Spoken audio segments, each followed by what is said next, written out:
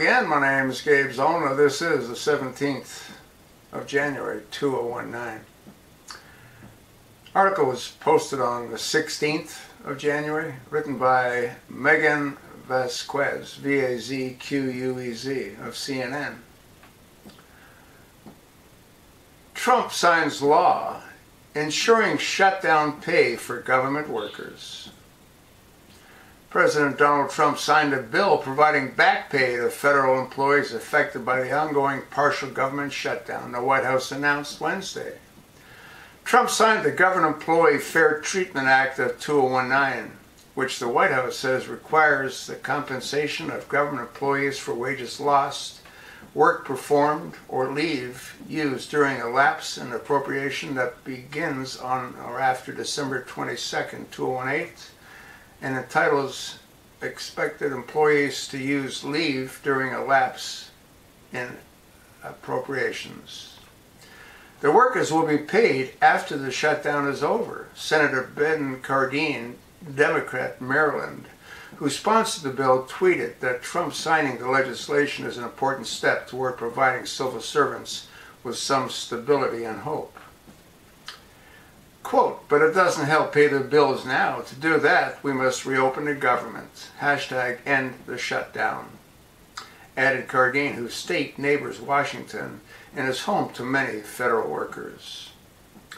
Earlier Wednesday, the president met with members of the so-called Problem Solvers Caucus, a bipartisan group of members of Congress to negotiate amid the shutdown revolving around funding the U.S.-Mexico border wall.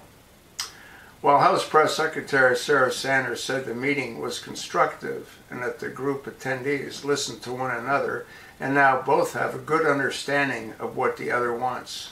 Uh, Sarah, we all know what Trump wants, and we also know what Nancy and Chucky want.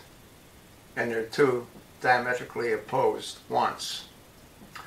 A member at the White House meeting described it as a respectful exchange of ideas and an agreement to keep talking, but said there were no signs they're any closer to a deal. In fact, Democrats kept pushing to reopen the government before immigration talks.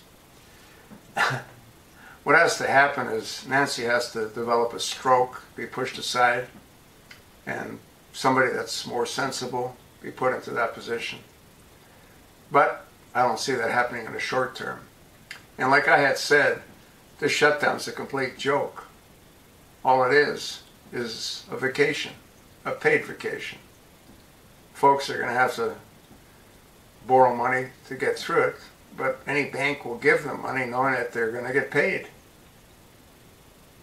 Just a complete joke on the American people being inconvenienced by the morons in our government.